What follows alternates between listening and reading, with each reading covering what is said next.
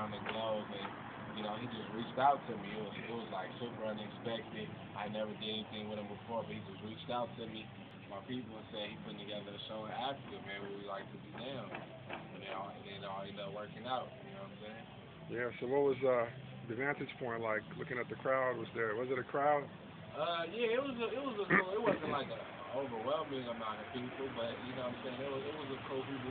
More so that, that didn't really know about, you know, any particular artist, but just more so knew about hip hop music, you know what I'm saying, Mhm. and, and, and wanted to, you know, just was excited that people from America was coming out there, you know what I'm saying, with their first hand experiences and, and performing for them, you know what I'm saying, and, and doing their rap songs and you know what I'm saying? So I think they were more just like intrigued to see what it was about more than it, more than just being a fan. But there was a couple people out there, you know what I'm saying, that knew the music and you